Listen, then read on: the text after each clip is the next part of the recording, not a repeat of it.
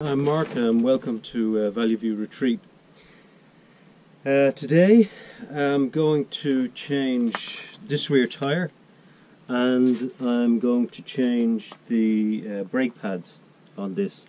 Uh, I took a, a, fall last week as a result of a particularly bald front tyre. I've already done the front tyre.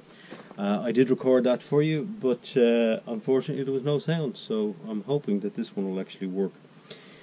So let's start off by taking this uh, rear tire off. Okay, so the first thing I'm going to do is undo the quick release. Yeah, it's easy enough. And then I've got to get the uh, the chain out of the the way of these cogs. So I'm going to do is pull this back and out of the way. Just lift and simple as that. To release the wheel. Do this. The dust cap and I'm going to put the dust cap in my pocket because yesterday when I was doing the front tire I took the dust cap off and now I can't find it. I don't know what I did with it. So I'm just going to take one of these Allen wrenches release the pressure here. Uh, this tire is a 20, 26 um, and you can see it was a pretty good pretty good tire. Um, and it hasn't given me any trouble. I haven't had a, a puncture in it. But it wasn't really designed for the sort of terrain that I'm covering at the moment. And um, and it is fairly worn in the center so it's time for a change. Originally this bike came with uh, I'm going to be using the tire levers for this. Originally this bike came with a 26 by 2.1 and that's what I've got on the front. Um, however this is actually a 26 by 2 and I'm going to replace it with a 26 by 2 not because I think it's any better but because when I went to the shop and I bought these in Decathlon but uh, when I went to the shop they had one uh, 26 by 2.1 and one of the 26 by 2 so I've replaced the 26 2.1 on the front with another exactly the same. And I'm going to replace this rear one with a, a 26 by 2 I don't know if that made any sense to you at all but basically they didn't have two 2.1s so this is what I'm going to change. Okay so we've broken the bead. And we need to just undo the tire around. See, once you break the bead, it's quite easy. Now, the next thing to do is take the tube out. There hasn't been a problem with this tube, to my knowledge, not since I've had the bike, so I've left it slightly inflated. Well, having said that, there's a patch there, so obviously there was a problem with it at some stage and there must be another one here because yeah. It's sticking there again. Okay so this tube has one two two patches in it. But it hasn't been going soft. Should I replace the tube?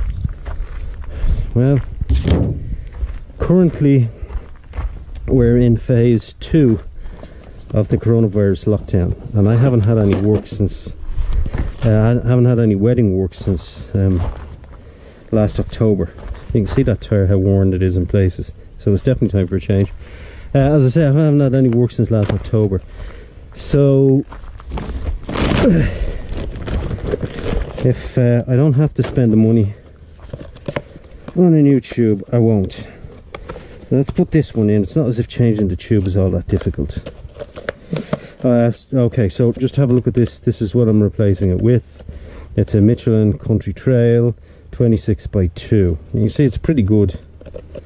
Um, and it's a fairly thick, fairly thick tire. So I'm hoping that it will work. Boy, that's not easy. There we go. That off. Take the band off. Uh, here we are. So the first thing we're checking to see is if there's a, a rotation mark on it. Tell you which way the tire is supposed to turn, which will tell me which way to put it on. They don't all have them, depending on the tread uh, pattern. And no, I'm not seeing a rotation direction. And that's it. Let's have a look on the other side. Yes, it says front or rear. So, for the rear, let me see if I can figure this out. Yep. For the rear, uh, it's going in that way. So, I'll go in that way. And when the bike's run, I run that direction. So rear. Yes, so this is the correct way. Okay, so gonna put one side in. Shouldn't be too difficult.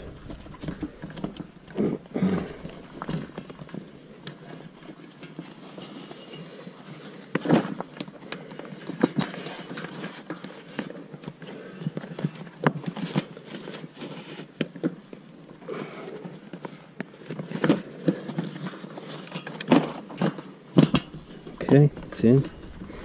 Right, the next thing is with a partially inflated tube because we want to prevent it from being pinched when we put the tire on. We put that in.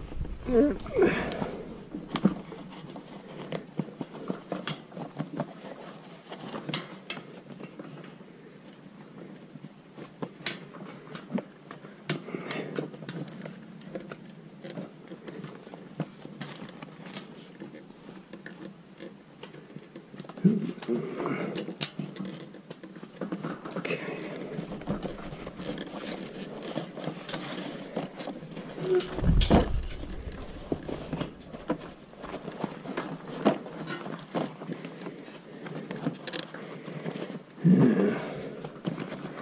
Nearly there. Okay, so that's where it should be. Now we've got to get this tire on without pinching the tube, so To try and gather the tube as we put it in. I find the first part of this relatively easy.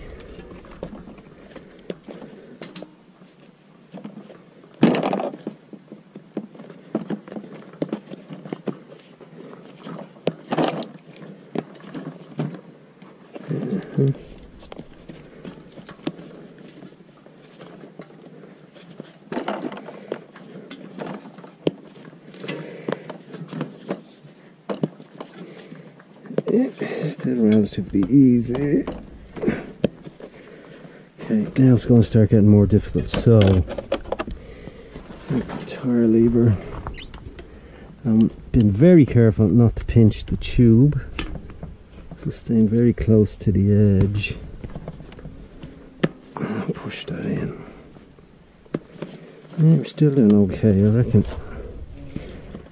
Oh, wonderful. Okay. Now, lever backwards and forwards quite a bit. Try and make sure if the tube is pinched between the bead and the wheel that we're giving it uh, enough space to pop out. I'm going to partially inflate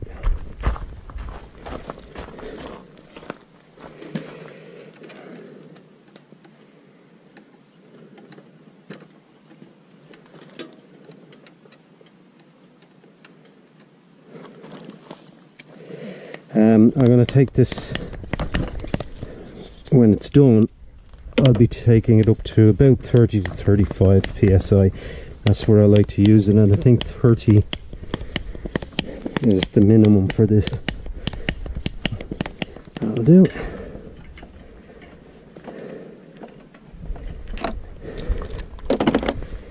Put the dust cap back on.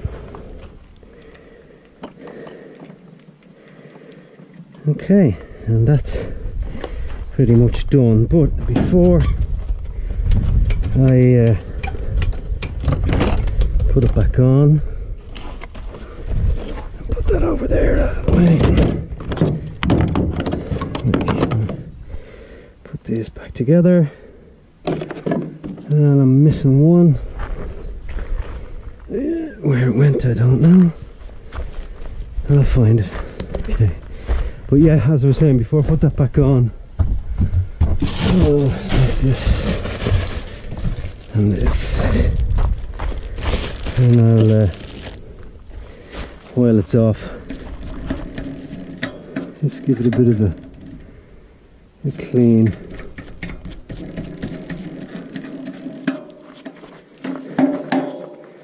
I can see that there's, yeah, a piece of grass been stuck in there. And although these things don't seem like much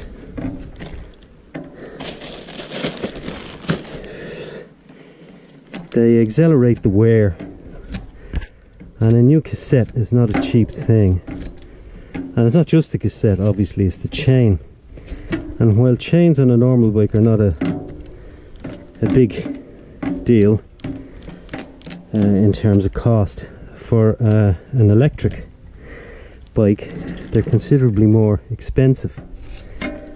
And uh, and if a chain should break when you're putting a lot of power through the pedal going up a hill on loose ground uh, you can end up in a pretty hairy situation. So it's worth keeping these clean. I do have some um, degreaser I'm not going to use it right now. That's all that needed because it was degreased not so long ago. Um, I'm going to give it a little bit of a little bit of oil.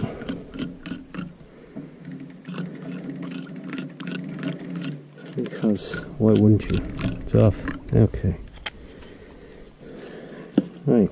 Now I feel better about putting that in. So our next order of business is the brake discs the brake pads rather not the discs. So here's the pads. And I'm going to need something to uh, lever.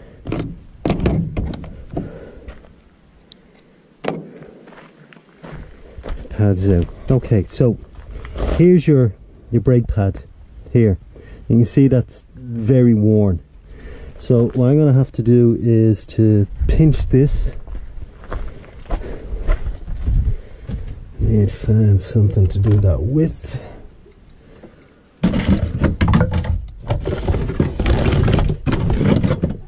Here. So this is a, a split pin, what my grandfather used to call a cotter pin. And do that like that. Put the cotter pin to one side. Now Gotta take these out.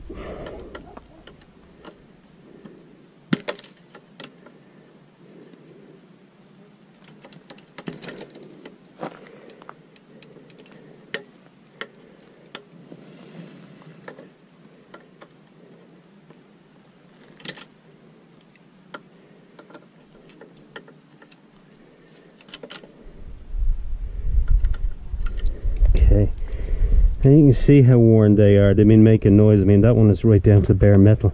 Really shouldn't allow them to get that bad. Okay, so let's take this one out.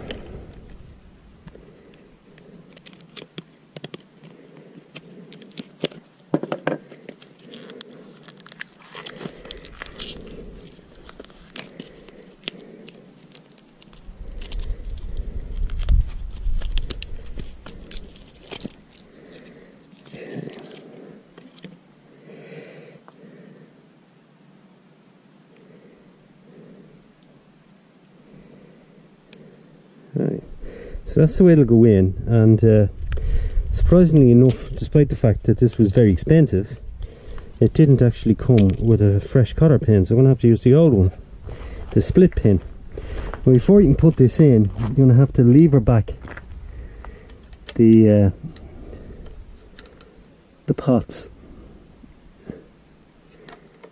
the hydraulics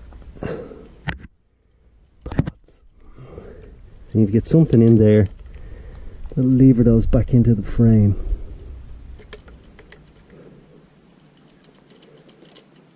And if I'm being perfectly honest, that's not. That's better.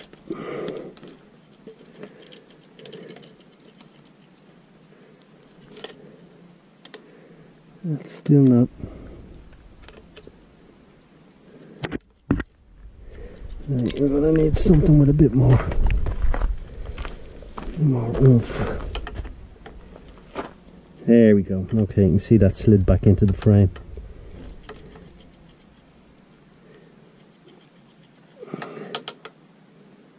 There we go. So, pop these in here. No, that's not right. Okay. Like that. You can see this spring is designed to push these out so that they don't remain in contact with the disc the whole time. Er, the bike is running because the last thing you'd want is that amount of friction on the disc. It would wear both the disc and the pad out. So when you're not on the brake it's trying to keep the discs away the the pads away from the disc. So we've got the split pin in. Now we've got to split the pin. Here.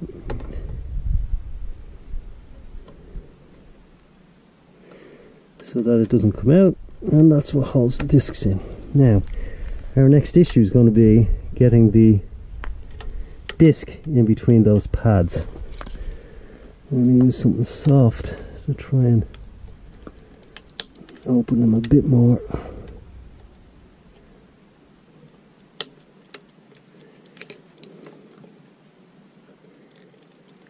Okay. See what happens when we put the tire in.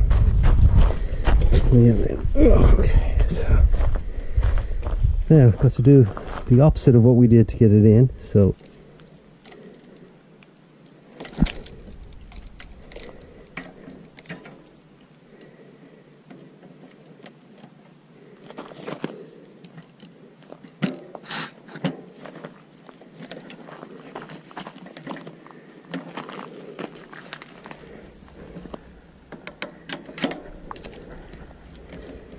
we in. There we go. Okay, so let's do this up.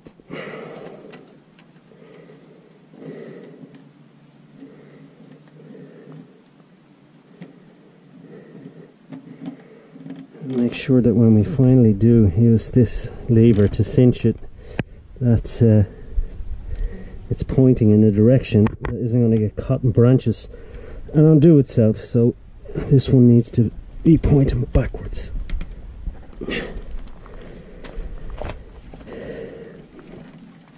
Okay, so far it'll find its correct gear. It's looking pretty good. You can see there's still some tension on that brake. It'll take a little while to settle down. There's a bit more uh, friction there than I'd actually like.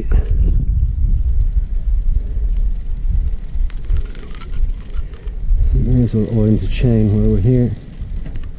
And some of the other little bits. There we go. Good. So I'll put these away.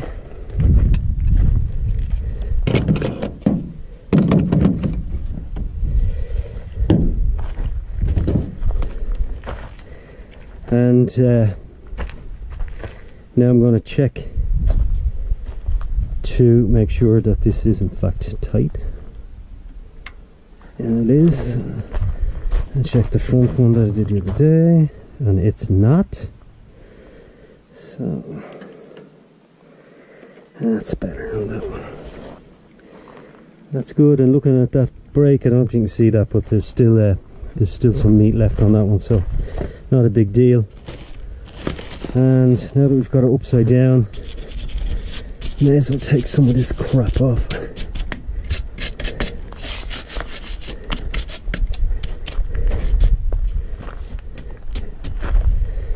Okay, I'm going to turn her over.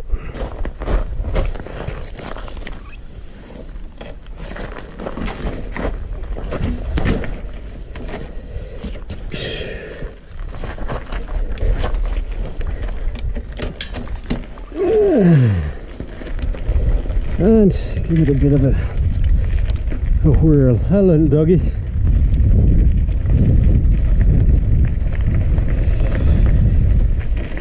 Okay, feels good. Let's check that rear brake. Very little. It needs to wear in, bed in a little bit.